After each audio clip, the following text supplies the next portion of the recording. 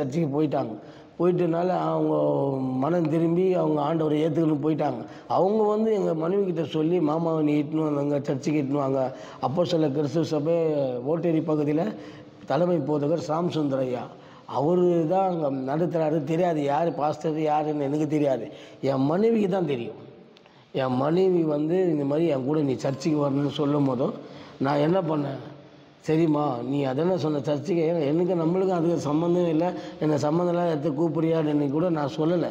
நான் என்ன பண்ணேன்? சரி உன் விருப்பம்னா சர்ச்சைக்கு வரணும். சரி நான் வரேன் அப்படின்னு சொன்னேன். அப்போ ஒன்று குடிக்க நிறைய போனோம். ஒரு நாளைக்கு அஞ்சாயிரம் ரூபாய் குடியே செலவாகும். அந்த வருஷத்துலயே? ஆமாம் அஞ்சாயிரம் ரூபாய் பணத்தை வச்சு எல்லாம் கறிக்கடை பணத்தை பாக்கெட்டில் வச்சுட்டு லைட் ஹவுஸ் பக்கத்தில் பட்டினம்பாக்கம் சைடில் கட்டு மரத்தில் உட்காந்துன்னு பீர் குடிச்சிட்டு எந்த வருஷம் இது? அது எண்பத்தஞ்சு தொண்ணூறு கிட்ட வரும். தொண்ணூறுலயும் அஞ்சாயிரம் ரூபாய் குடிப்பீங்க. அவ்வளோ செல்லு போகணும். ஆட்களோட செல்லு போகணும் பாஸ்டர். பாக்கெட் நிறைய பணம் இருக்கும். நிறைய பணம் இருக்கும். எனக்கு பணம் அருமை தெரியல பாஸ்டர். என் நிறைய பணம். எவ்வளோ ஒன்றுக்கு இப்பயே எனக்கு நினைவு தெரிஞ்சிருந்து ஒரு பத்து கறி கடை கிட்ட நான் நடத்திட்டேன். அது சொல்லுங்க. ம் பத்து கறி கடை கிட்ட நடத்திட்டேன். நல்ல வருமானம் பாக்கெட் நிறைய வரும். பஞ்சம் என்னன்னு நான் எனக்கு தெரியவே தெரியாது.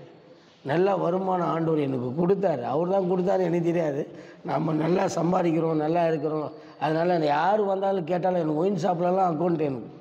அப்படியெல்லாம் நான் பணத்தை கொடுத்து ஆட்கள் யாருன்னா ஒருத்தர் தலை சொரிஞ்சு ஏன்னா கொஞ்சம் வாங்கி கொடுங்கன்னு கேட்க கூட என்ன பண்ணுவோம்மா அவன் காசை அவன் பாக்கெட்டில் வச்சுட்டு நான் போய் அவனுக்கு என்ன போகணுமோ அவனுக்கு கொடுங்க அப்படின்னு சொல்லி நான் சொல்ல சொல்லுவேன்.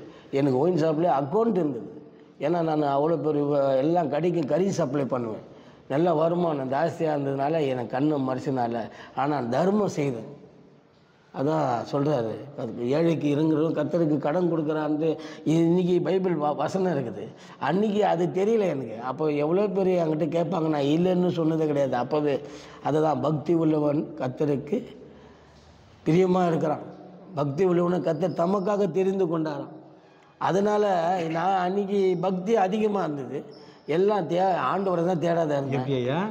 எல்லாருக்கும் குடி வாங்கி கொடுத்து தர்மமா உங்களுக்கு? இல்லை இல்லை. சொல்லுங்க அது நான் குடி வாங்கி கொடுத்த தரமா இல்லை. சாப்பாடெல்லாம் சில பேர் கேட்பாங்க. அது கேட்டதுனால நான் குடி வாங்கி கொடுத்தா அது தருமன்னு சொல்ல.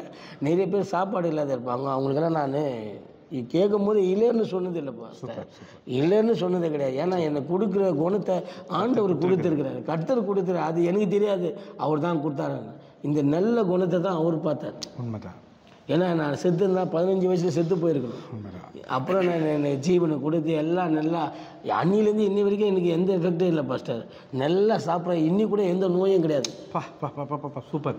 சுகரும் கிடையாது. இதுதான் பெரிய சந்தோஷமான வார்த்தை. எந்த சுகரும் கிடையாது. சில பேர் ப்ரெஷர் இருக்குது. என் வயசுக்காரெல்லாம் என் ஃப்ரெண்டுங்கெல்லாம் பார்த்தா கிழவனாக இருக்கிறானுங்க. இன்னைக்கு நீ ஏன் மட்டும் அப்படியே இருக்கிறேன்னு சொன்னால் நான் சொல்லுவேன் கத்தரப்பா கத்தர் கொடுத்த எனக்கு கிருபப்பா. அவர் கொடுத்த எனக்கு ஆசீர்வாதம்பா.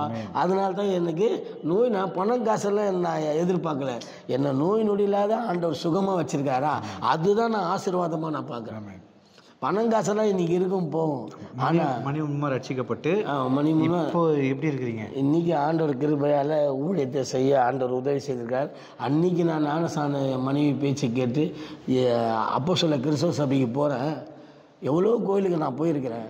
உண்மையிலே சொல்கிறேன் அந்த இடத்துல நான் முத முத காலை வைக்கிறேன். நான் நல்லா குளிச்சுட்டு சனிக்கிழமை நைட்டு ஃபுல்லாக ஃபுல் டைட்டாக குளிச்சுட்டு வந்தேன். அன்றைக்கி தான் என் மனைவி இந்த வார்த்தை பேசுகிறாங்க என் கூட நீ சர்ச்சுக்கு வரணும்னு சொல்லி. சொல்லும் போது நான் என்ன பண்ணேன்? சொல்லும் போது நான் என்ன பண்ணேன்? சரி வரேன் அப்படின்னா நம்ம நைட்டெல்லாம் போதை அதிகமாக இருந்தனால காலையில் ஏஞ்சிக்க முடியாது. எனக்கு தண்ணி ஊற்றி சட்டை போட்டு பேண்ட்டை போட்டு என் மனைவி என்னை கொண்டு ஏசிய சர்ச்சுக்கு கொண்டு போகிறாங்க அப்போ சொல்ல கிறிஸ்துவ சபை பொருசோகத்தில் இருக்குது. தலைமை போதகர் ச எம்கே சாம்சுந்தரையா அவரு தான் அந்த சபை பா பாஸ்டர்னு எனக்கு தெரியாது. என் மனைவி இட்டுன்னு வர முத முத நான் காலை வைக்கிறேன்.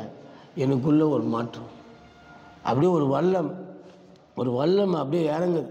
எனக்கு எனக்கு ஒரு முடு உடம்பெல்லாம் ஒரு மாதிரி அப்படியே ஒதுற மாதிரி ஆகிப்போச்சு ஒரு பயம் வர மாதிரி ஆகிப்போச்சு எவ்வளோ இடத்துக்கு போனேன் அந்த மாதிரி எஃபெக்டை நான் பார்த்ததில்ல. உள்ளே போகும்போது அவ்வளோ பேர் இருக்கிறாங்க. ஒரு- ஒரு நாற்பதாயிரம் பேர்கிட்ட இருப்பாங்க உள்ளே. ஃபஸ்ட்டு ஃபஸ்ட்டு சர்வீஸே ஃபஸ்ட்டு சர்வீஸு நாற்பதாயிரம் பேர் இருப்பாங்க. நான் உள்ளே போகும்போது எல்லாம் என் கண்ணுக்கு வெண்மையாக தெரியுறாங்க. எல்லாம் என் கண்ணுக்கு வெண்மையாக தெரியுறாங்க. நான் மட்டும் ஒரு குப்பை கொட்டி வச்சுக்கிற மாதிரி இருக்குது. ஒரு குப்பையாக இருக்கிற மாதிரி இருக்குது. ஆண்டவர் முதலாவது நீ எப்படி இருக்கிறன்னு என்னை காட்டினார் அந்த இடத்துல. காட்டும் போது என் மனைவி கிட்டே கேட்குறேன் நான் நான் நல்லா தானே இருக்கிறேன். ஒரு மாதிரி அசிங்கமாக இருக்கிற மாதிரி இருக்குதுன்னு என் மனைவி கிட்டே சொல்லும் போதோ நீ நல்லா தான் இருக்கிற என்னன்னு தெரியல. ஆண்டவர் இதை உணர்த்துறாரு உனக்கு. நீ எப்படி இருக்கிற பாருன்னு ஏன்னா முத முத இதுதான் ஃபஸ்ட்டு நான் காலை வைக்கிறது. தேவாலயத்தில் காலை வைக்கிறது அதுதான் ஃபஸ்ட்டு அன்றைக்கி காலை வச்ச அன்னிலேருந்து இன்னி வரைக்கும் ஆண்டவர் பாதுகாத்துருக்குறேன் சூப்பர். ஆறு மாதம் பொறுத்து நான் ஞானஸ்தானது நல்ல எல்லா பழக்கம் குடி பழக்கம் இருந்தது பீடி பழக்கம் சிகரெட்டு பாக்கு எல்லாம் இருந்தது பீடா எல்லாம் போடுவேன். எல்லாத்தையும் தூக்கி போட்டார். சிகரெட்டு மட்டும் விட விட முடியல என்னால். ஆண்டவர்கிட்ட கேட்டு ஆண்டவரே நான் ஞானஸ்தானம் இருக்கணும்னா இந்த சிகரெட்டு என்னால் விட முடியல. என்னால் விட முடியாதுப்பா. உங்களால் முடியும். அது நீங்கள் தான்ப்பா எனக்கு அதை எடுத்து போடணுன்னு சொன்னேன். நான் ஆகஸ்ட்டு எட்டா ஆகஸ்ட்டு எட்டாந்தேதி ஆகஸ்ட்டு மூணாந்தேதி எட்டாம் மாதம் நான் ஞானஸ்தானம் எடுக்கணும். அப்போது வந்து இருபத்தி எட்டாந்தேதி ஆண்டுகிட்ட சொல்கிறேன் நான் சர்ச்சுக்கு சர்ச்சுக்கு வாரம் வாரம் நாங்கள் மிஸ் பண்ணாத கரெக்ட் டைமுக்கு நாங்கள் அங்கே சர்ச்சில் இருப்போம். பிரசங்கம் ப- ஆரம்பிக்காத முன்னாடி நாங்கள் சர்ச்சில் உட்காந்துருப்போம் நான் என் மனைவி. ரொம்ப சந்தோஷப்படுவாங்க. எல்லாரும் நிறைய பேர் என்னை கிண்டல் பண்ணாங்க. நீ என்ன அல்லையா புட்டா அது புட்டு இதெல்லாம் கிண்டல் பண்ணாங்க அதெல்லாம் நான் பார்க்கல. ஆண்டவரை தான் நான் பார்த்தேன். சூப்பர் சூப்பர் அவர் பார்த்ததுனால தான் என் நான் உலகத்தில் இருக்கும்போது எவ்வளோ அசிங்கத்தை என் மனைவி அனுபவிச்சாங்க. அந்த விடவா எனக்கு இதை விட என் மனைவி விடவா வேற இதெல்லாம் அப்படின்னு சொல்லிட்டு என்ன பண்ண அந்த சபைகளை போய் நான் ஆறு மாதம் பத்து இருபத்தி எட்டாம் தேதி நான் பொருத்தனை பண்ணேன். ஆண்டவரே நான் சிகரெட்டு தான். என்னால் அதுதான் அது ஒரு கெட்ட பழக்கங்கிறது. அது எடுத்து போட்டு நான் ஞானசானுக்கு ஒப்பு கொடுக்குறேம்மான்னு சொல்லிட்டு ஆண்டவர்கிட்ட பொருத்தனை பண்ணேன். பண்ணுதும். ஆண்டவர் எனக்கு என்ன பண்ணார்? நீ எவ்வளோ பிடிக்கிறியே பிடிங்கிட்டார் இருபத்தி எட்டாம் தேதி இருபத்தி எட்டு இருபத்தி ஒம்பது முப்பது முப்பத்தி ஒன்று. ஒன்று ரெண்டு. மூணாம் தேதி நான் ஞானசானம் எடுக்கணும். ஆண்டவர் என்ன பண்ணணும் எவ்வளோ பிடிக்கிறே பிடி அப்படின்னு சொல்லும்போது என்ன அது இது மாதிரி சொல்கிறாருன்ட்டு அன்னைக்கு ஒரு நாள் இருபத்தி எட்டாம் தேதி நைட்டு நிறைய சிகரெட் எடுத்து பிடிக்க ஆரம்பித்தேன் அன்னைக்கு தூக்கி போட்டது தான் அவ்வளோ அந்த சிகரெட் பிடிச்ச பழக்கம்லாம் எனக்கு ஒரு மாதிரியான ஒரு மாதிரி ஆக்கிச்சு. எல்லாத்தையும் தூக்கி அன்றைக்கி விசிறச்சேன் இருபத்தி ஒம்பது முப்பது முப்பத்தி ஒன்று ஒன்று ரெண்டு மூணாம் தேதி ஞானசானம் எடுக்க கத்துற உதவி. சோத்ரம் அந்த அந்த ஒப்பு கொடுத்த அந்த நாள்லேருந்து எனக்கு ஆண்டவர் அந்த அந்த அது மேலே ஒரு வெறுப்பை உண்டாக்கி அந்த பழக்கமே இல்லாத ஆண்டவர் பரிபூர்ண ஆசீர்வாதத்தோட அந்த மூணாம் தேதி ஆகஸ்ட் மூணாம் தேதி ஞானசானம் எடுத்தேன் அன்னிலேருந்து இன்னி வரைக்கும் ஆண்டவருடைய ஊழியத்தை கனமான ஊழியத்தை ஆண்டவர் எனக்கு கொடுக்குறார். அப்போ கூட எனக்கு தெரியாது. நன்றி கூட்டம் மாதிரி நான் வீட்டாண்ட வச்சேன். ரசிக்கப்பட்டு ஒரு வருஷம் ஆயிடுச்சு. ரசிக ஆகஸ்ட் மாதம் ரெண்டாயிரத்தி எட்டில் நான் ஞானசானம் எடுத்தேன். மூணாந்தேதி எட்டாம் மாதம் ரெண்டாயிரத்தி எட்டு நான் ஞானசானம் எடுத்தது. அன்னிலேருந்து இன்னி வரைக்கும் ஆண்டவர் தான் நடத்திட்டு அப்போது நான் ரசிக்கப்பட்டு ஒரு வருஷம் வந்தது. நன்றி கூட்டம் வைக்கலான்னு வீட்டாண்ட வச்சேன். முத கூட்டம் அதுதான். எங்கள் வீட்டாண்ட அதை முத செய்தியாளர் யாருன்னா பீட்டர் வடுவதாஸ். ஓட்டேரி பகுதியில் ஆமாம் துன்மார்க்கமாக ஜீவித்திருந்த அந்த மனுஷன் அவர் தான் முதல் செய்தியாளராக அங்கே வந்தார். எங்கள் வீட்டு வா- வெளியே வீட்டு வாசலில் நல்லா சேரெல்லாம் போட்டு நல்லா ஆகாரம்லாம் செய்து ஆண்டவர் நாமத்தை நாங்கள் மண்டி நன்றி செலுத்தணும். அன்றைக்கி ஆண்டவர் நாமத்தை மகிமைப்படுத்தணும். அன்றைக்கி அதுக்கு அப்பாக்காக நன்றி சென்ற ஒரு வருஷம் எனக்கு இந்த ஞானசானம் எடுத்து ஒரு வருஷத்தை கூட்டி கொடுத்தீங்கப்பா அதுக்காக நன்றின்ட்டு அவருடைய நாமத்தை அந்த இடத்துல உச்சரிக்க ஒரு கூட்டத்தை வச்சார் அன்னியிலேருந்து இன்னி வரைக்கும் பத்தி எரிஞ்சு நிற்குது ஸ்தோத்திரம் ஸ்தோத்திரம் ஸ்தோத்திரம். அன்னிலேருந்து இன்னி வரைக்கும் பத்தி எரிஞ்சிட்டு இருக்குது நூற்றி எத்தனை மாதம் நினைக்கிறீங்க நீங்கள் நடத்திருப்பீங்க? நூற்றி எழுபத்தி ரெண்டு மாதம். நூற்றி எழுபத்தி ரெண்டு மாதம் அன்னியிலேருந்து இன்னி வரைக்கும் ரெண்டாயிரத்தி ஒம்போதில் ஸ்டார்ட் பண்ண ஊழியம் ரெண்டாயிரத்தி இருபத்தி மூணு வரைக்கும் கத்தன் நடித்திருக்கிறார். இதான் நான் மாதம் மாதம் நடத்துகிற அந்த ஊழியம். இயேசு அற்புதமானவர் ஊழியம். அதுதான் என்னுடைய எனக்கு கொடுக்கப்பட்ட அந்த ஊழியம். ஃபஸ்ட்டு நான் இயேசு அதிசயமானவர்னு வச்சுருந்தேன். ஒருத்தர் வந்து சொன்னார் நீங்கள் நாங்கள் ஊழி இருக்கிற ஊழியக்காரங்களே அது மாதிரி இருந்தாங்க எனக்கு. என்ன நாங்கள் ஏசு அற்புத அதிசயமானவர் பத்து வருஷமாக நாங்கள் நடத்திட்டுக்கிறேன்னு சொன்னார். அப்படிங்களா? சரி இந்த தலைப்பு எனக்கு கிடைக்கலையான்னு சொல்லிட்டு நான் ஆண்டவர் சொன்னார் அவர் அதிசயத்தை செய்வார் அற்புதத்தை செய்வார்னு சொன்னாங்க. அதனால் அற்புதமானவரை நான் பேரை வச்சு இன்றைக்கி இயேசு அற்புதமான ஊழியத்தையும் செய்கிறேன் இயேசு அற்புதமான ஜெப வீடியோ நடத்த கத்தர் உதவி செய்திருக்கிறார். அதுக்கு கோடா கோடி சோத்திரம் நூற்றி எழுபத்தி ரெண்டு மாதம். அன்னிலேருந்து நூற்றி ரெண்டாயிரத்தி ஒம்போதில் ஸ்டார்ட் பண்ண ஊழியம் ரெண்டாயிரத்தி இருபத்தி மூணு ரெண்டாயிரத்தி இருபத்தி மூணு வருஷம் வரைக்கும் கத்தர் நடத்திருக்கிறார். சூப்பர்யா. எந்த நோய் நொடி இல்லாத கத்தர் பெரிய வார்த்தை. எந்த நோய் நொடி இல்லாதுன்றது பெரிய வார்த்தை. அடுத்து எல்லாம் அழகாக சொல்லிட்டீங்க. எத்தனை மனைவி எத்தனை பிள்ளைங்கன்னு ஒரு வார்த்தை. எனக்கு மனைவின்னா என் மனைவி என் மனைவி பற்றி தான் சொல்லிக்கிறேன். என் மனைவி இல்லைன்னு சொன்னால் நான் இல்லை. ஒரு மனைவி. மனைவி ஒரு பொண்ணு ஒரு பையன். இப்போது இப்போ பொண்ணு கூட நான் கல்யாணம் பண்ணேன். அப்போ வந்து நான் எல்லாத்தையும் இந்த ஊழியத்தில் ஆண்டவரை ஏற்றுக்கொண்டும் போது இந்த ஊழியத்தில் வரும்போது எனக்கு க வியாபாரம் பண்ணியிருந்தேன். வியாபாரம் எனக்கு பிடிக்கல. எல்லாம் நஷ்டமாயிடுச்சு. எல்லாமே அங்கங்கே மயிலாப்பூரில் இடம் வாங்கினேன் விற்றுட்டேன் எது நிறைய இடத்துல கடை இருந்தது. கடத்தை ஒரு வியாசாரப்பள்ளியில் ஒரு கடை இருந்தது. அதையே நான் விற்றுட்டு எல்லாருக்கும் கடன்காரங்கெல்லாம் கொடுத்துட்டு ஒன்றுமே இல்லாத நான் நிற்கும் போதோ மனைவி தான் என்னோட இருந்து ஆண்டவருடைய ஊழியத்தை செய்யும்படி எனக்கு உதவி செய்தாங்க. அது மட்டும் இல்லை நான் வண்டி ஓட்டியிருக்கிறேன் பெயிண்ட் வேலை பண்ணியிருக்கிறேன். எல்லாமே எல்லா வேலையும் நான் ஒன்று பார்த்தேன்னா உடனே கற்றுக்குவேன் எல்லா வேலையும் நான் பண்ணி ஆண்டவருடைய ஊழியத்தை நான் செய்து செய்ய ஆரம்பித்தேன் எல்லாம் பண்ணிகிட்டு இருக்கும்போதும் எனக்கு உதவி செய்ய ஒருத்தரும் இல்லை. என் மனைவி தான் எனக்கு சப்போர்ட் ஒரு மனைவி ஒரு மனைவி ரெண்டு ஒரு பொண்ணு ஒரு பெண்ணு ஒரு பையன். ஒரு பையன். இப்போ என் பொண்ணுக்கு கல்யாணம் ஆகி நல்லா அதுக்கு பொண்ணு கூட கல்யாணத்துக்கு எந்த பணமே இல்லை என்கிட்ட. ஏன்னா நான் தொட்டி வியாபாரத்தெல்லாம் விட்டுட்டேன். விட்டுட்டு எனக்கு அது பிடிக்கல. அந்த வியாபாரமும் பிடிக்கல. ஆண்டவர் பிரிச்சுட்டார் என்ன. ஆண்டவர் மேலேயே எனக்கு நாட்டம் அதிகமாக போனதுனால நான் என்ன பண்ணிட்டேன் அந்த வாடகை எனக்கு பிடிக்கல. அந்த அந்த வியாபாரமே எனக்கு பிடிக்கல. மன இப்போ முழு நேரமாக ஊற்றி வந்துட்டீங்க. ஆமாம் ஆண்டவருக்காக என்ன பண்ணிட்டேன் சூப்பர். மூணு நேரத்தில் வந்துட்டேன். வந்து இன்னைக்கு ஆண்டவர் நடத்திட்டு இருக்கிறாரு என் பொண்ணுக்கு அருமையாக கல்யாணம் பண்ணாரு. அதுக்கு ஒரு எவ்வளோ பணம் தேவை இருந்தது? ஆறு ஆறரை லட்ச ரூபாய் தேவைப்பட்டது. இப்போ அந்த பணம் மாறாத போச்சு பாருங்க. அந்த சீசன் ஐநூறுரூபா நோட்டுக்கு மாறாத போச்சு. அந்த சீசனில் என் பொண்ணு கல்யாணம் வச்சேன். வச்சிருக்கும் போது அப்போ வந்து யாரும் எல்லாரும் என் ஃப்ரெண்ட்ஸுக்கிட்டலாம் நான் கேட்டேன். கேட்டு யாரும் எனக்கு கொடுக்கல. ஆனால் நான் ஜெபம் பண்ணோம். என் பையன் வேலை செய்கிற கம்பெனியில் அவன் ஓனரு அவர் அந்த பணம் ஆறரை லட்ச ரூபாய் பணத்தை கொடுத்து நான் கூட ஒரு ஒரு கடை ஏறி ஒரு பொருள் வாங்கலை.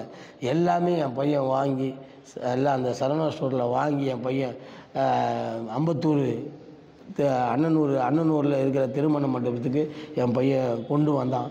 நான் எந்த பொருளை வாங்கலை. எல்லா கத்தர் நேர்த்தியாக எல்லா பண தேவைகளை தந்து இன்னைக்கு என் பொண்ணு ஆசீர்வாதமாக இருக்கிறாங்க. ரெண்டு பையன் அதுவும் சுகப்பிரசவத்தை ஆண்டவர் கொடுத்தாரு.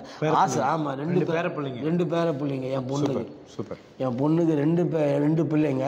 என் ரெண்டு பேர பிள்ளைங்களும் நல்லா ரெண்டு ஆம்பளை பசங்க ஆனால் ரெண்டு பேரையும் ஊழியத்தில் எடுத்து பயன்படுத்துவேன். பிள்ளைக்கு கல்யாணம் ஆயிடுச்சா பையனுக்கு இப்போ தான் லேட்டஸ்ட்டாக கல்யாணம் ஆயிடுச்சு.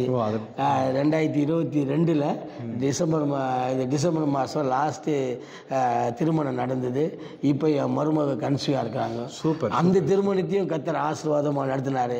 என் பிள்ளை என் மகள் என் மருமக என் மருமகள் நான் என் மனைவி என் பேர பிள்ளைங்க எல்லாம் இயேசு அற்புதமான ஜப வீடை நடத்த கத்தர் உதவி செய்திருக்கிறார். அதுக்காக கத்தர் அவங்கெல்லாம் வந்து செய்யணும். அதுக்காக கத்தருக்கு கோடா கூடிய சு- நன்றி. இதுதான் என்னுடைய ஜெப விண்ணப்பமே. அவருடைய ராஜ்யத்தை கட்டணும். அவருடைய வேலையை நான் செய்யணும். அநேகருக்கு சத்தியத்தை சொல்லணும். நான் பாவத்தில் சாபத்தில் இருந்த என்னுடைய வாழ்க்கையில் நடந்த சாட்சியை உங்கள் முன்னாடி நான் சொல்லியிருக்கிறேன். கத்தர் அற்புதமாக என்னை நடித்திருக்கிறாரு. இப்போ இதுக்குள்ளே எந்த நான் செக் பண்ணி பார்த்தேன். சுகர் இல்லை ப்ரெஷர் இல்லை டென்ஷன் இல்லை பணம் இல்லை எனக்கு வறுமை இல்லை. எல்லாம் ஆண்டவரே கொடுக்குறார். திருப்தியாக என்னை நடத்திட்டுக்கிறார் ஸ்தோத்திரம். கத்தரு கொடா கூடி சோத்திரம் ஸ்தோத்திரம். இந்த சாட்சியை கத்தரை ஆசீர்வதிக்கணும். இன்னும் அநேக ஊழியங்களை நான் பண்ணணும். அநேகருக்கு நான் உதவி செய்யணும். எல்லா திருச்சபைக்கும் எது எதோ இல்லைன்றாங்க. அதெல்லாம் ஆண்டு எனக்கு ஆண்டவர் கொடுத்தாருன்னா எல்லாருக்கும் நான் கொடுக்க போகிறேன் அது எல்லாருக்கும் நல்ல காரியங்களை நான் செய்ய போகிறேன் எனக்கு மனசில் என்னென்னா எனக்கு எல்லாம் இல்லாத எவ்வளோ பேர் அதான் ஒரு தம்பி ஜெபத்தில் கூட சொன்னா இதுமாதிரி எவ்வளோ பேருக்கு வீடு வாசலில் இல்லை அங்கேயும் இங்கேயும் பார்த்துட்டு இருக்கிறாங்க அதுக்காக அவங்களுக்கெல்லாம் நான் இந்த கொரோனா டைமில் நான் சாப்பாடு செய்து இருபத்தஞ்சி நாள் கொரோனா டைமில் நான் ஃபுல் டைமில் இருந்து கூட அந்த கொரோனா டைமில் இருபத்தஞ்சி பொட் இருபத்தஞ்சி நாளும் அந்த சாப்பாடு கொடுக்க ஆகாரம் கொடுக்க கத்தர் உதவி செய்தார். அதாவது கவர்மெண்ட் பாஸ் வாங்கிட்டு நான் ஒண்டி பா சாப்பாடு போட்டலாம் கட்டி வச்சுக்கின்னு எடுத்துன்னு போய் எல்லாருக்கும் கொடுப்பேன்.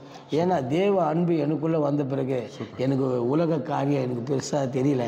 ஆனால் கத்தர் என்ன என்னை அவருடைய பிரசனத்தினால என்னை மூடி என்னை மறித்து இன்னைக்கு ஒரு ஊழியக்காரனாக நிற்க வச்சு இன்னைக்கு ஒரு திருச்சபையை நடத்த கத்தர் உதவி செய்திருக்கிறார். அதுக்காக கத்தருக்கு சோத்திரம் கத்தர் நல்லவராக இருக்கிறார். எல்லாருக்கும் நல்லவராக இருக்க பார்த்து கொண்டு இருக்க உங்கள் வாழ்க்கையிலும் அவர் நல்லவராக இருக்கார். என் வாழ்க்கையில் அருமையான காரியங்களை செய்த தேவன் உங்களுக்கும் அருமையான காரியங்களை கத்தர் செய்வார். அவரை நம்புங்க. அவர் உங்களுக்கு விடுதலை கொடுக்குறவர்.